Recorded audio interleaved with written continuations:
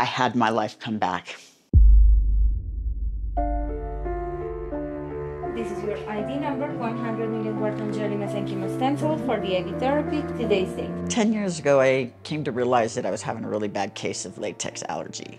And as it was progressing, I had to find a cure, and there were none. In the States, they said incurable, I was gonna die from it. So as I started looking, I found stem cells, they said the only hope was that it would bring down the, the um, inflammation.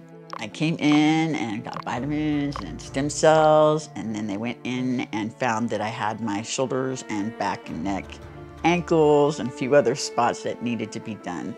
So in the next, progressing through the week, we went in and injected all those sites.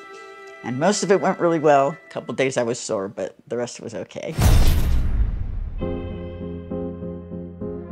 I noticed that my allergy had actually gone to not back to where it was, just an allergy within the first week. And I noticed that I was able to walk and had high energy within a week. And then within a year, I was able to get off my pain pump and I was able to get off my, out of my wheelchair.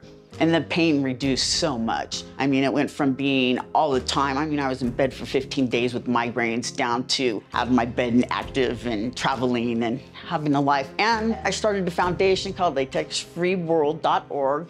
And we are gonna be sending people here and testing people for latex disorder and seeing if possibly, because mine was an autoimmune disorder, if it cures autoimmune disorders, or at least puts it in remission.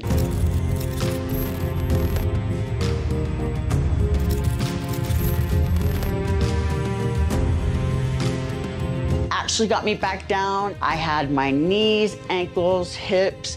I had 10 injections in my back and neck because they found I had bulging discs.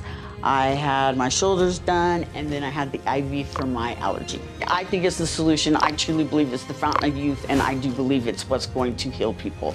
I think almost everything can be healed by it. I would tell anybody to go. Everybody.